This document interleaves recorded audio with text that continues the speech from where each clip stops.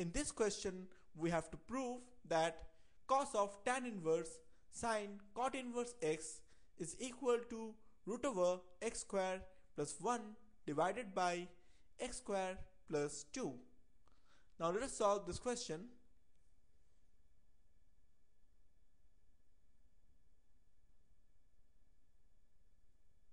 Now left hand side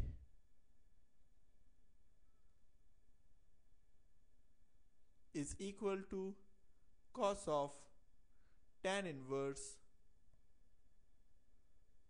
sine of cot inverse x. Now cot inverse x is equal to sine inverse root over 1 by 1 plus x square. Therefore, sine of cot inverse x is equal to sine of sine inverse were by 1 plus x square. So this is equal to root over 1 by 1 plus x square. Right? Therefore, left hand side is equal to cos of tan inverse root over 1 by 1 plus x square. Now,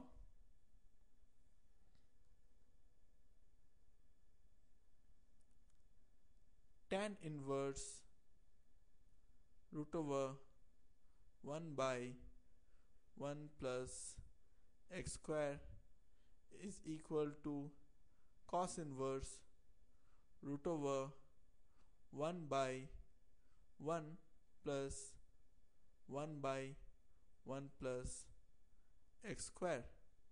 So this is equal to cos inverse root over x square plus 1 divided by x square plus 2. Therefore, cos of tan inverse root over 1 by 1 plus x square is equal to cos of cos inverse root over x square plus 1 divided by x square plus 2 so this is equal to root over x square plus 1 divided by x square plus 2 therefore left hand side is equal to root over x square plus 1 divided by x square plus 2 is equal to right hand side. Therefore, what we get is cos of tan inverse of sine of cot inverse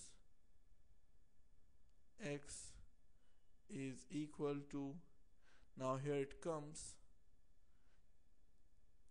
root over x square plus 1 divided by x square plus 2 hence proved.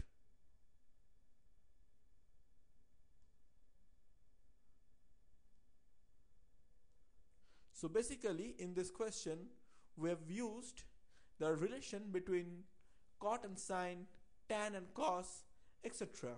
This is a simple question on inverse trigonometric function but one erroneous approach can lead you to some problem. Don't assume x to be equal to cot theta because there's a common tendency for people to assume that x is equal to cot theta but in this approach you can misguide and sometimes can create real difficulty because in any way this substitution is not going to help because if x is cot theta in the next step you get sine theta. So you have to co convert sine theta in terms of tan theta. So basically again you have to substitute x and so this approach is not going to help. And so you have to just approach directly in this method writing cot inverse in times of sine inverse.